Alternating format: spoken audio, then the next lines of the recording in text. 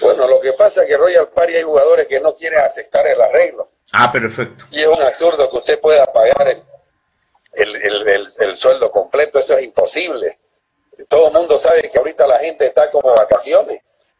No se está entrenando, no se está nada, porque lo que entrenan diario eh, no es lo mismo, y son ratitos y, y, es difícil, ¿no? En un club no, no hay coma. Imagínense, Royal Party debe tener una planilla de 200 mil dólares, un poco más.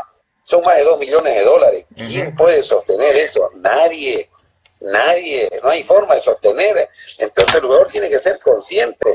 Es una cosa que no, no lo hemos conseguido nosotros. Esto viene una pandemia que todos perdemos. Todo, no hay quien no haya perdido. Yo en mi empresa, que yo tengo varias empresas que tengo, ninguna está con utilidades ahora. Todos están sobreviviendo.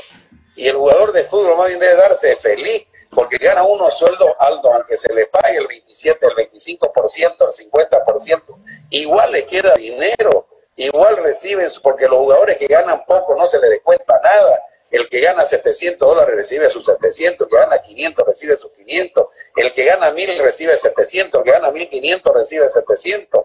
Entonces con 700 dólares cualquier persona vive, vive tranquilo y le sobra, porque ahorita no hay gasto. No hay gasto, no tienen gasto en taxi, no tienen gasto en nada, es solamente alimentación y están completamente en su casa. Entonces el jugador de fútbol ahorita es, es, la persona más feliz porque tiene el dinero, no hay forma que ellos estén sacando de su bolsillo extra. Y así tiene que ser, o sea, es una cosa que el jugador de fútbol tiene que comprender y ese es el problema Royal Party. El problema es ese, no es que no tenga plata, no es que no tenga dinero, no quiere escuchar capricho, es que también uno no se va a ir a la bancarrota. Ahorita todo, todo se trabaja media pérdida, o lo más que se saca es, es como se dice.